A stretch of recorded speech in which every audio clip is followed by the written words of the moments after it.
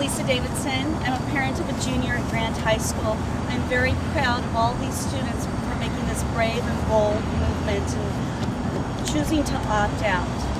This is an important part of our kids' education, a challenging question, and I believe that the SAT gives the information that my child needs to give for the college entrance. Also, the funds that are spent on these testing should be back in the classroom to give my child a fuller, richer education. I'm proud of you guys.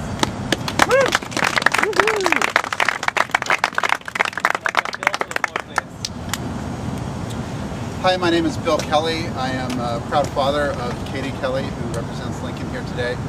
Um, speaking as a father, as a taxpayer, and also as someone who's worked for the last 12 years to provide services to schools all over the country, I can tell you that the unfunded mandates of No Child Left Behind uh, have unnecessarily diverted resources away from personalized local learning and into a testing regimen that is of dubious value. So I say it's, uh, it's high time that the students themselves are speaking up and acting uh, on their experience. Uh, and I'm really proud of them and support them.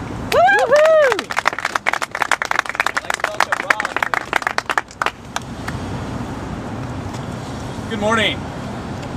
Uh, I am a dad. Uh, my name, I'm Bria Justice's dad. Uh, I'm here to support the students here.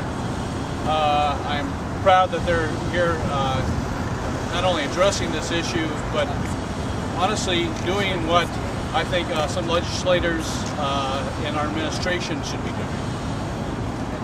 I support and agree with them that these tests uh, are not equitable. And as a parent, one of the things we try to teach our children is that when you're wrong or you make a mistake, you own that. And you try to, you know, rectify that mistake. So we are asking Governor Kitzhaber to uh, acknowledge that, you know, these tests are wrong, they are not equitable, and Governor Kitzhaber needs to you know, change how these tests are administered and uh, fix the mistake. Thank you. Thank you.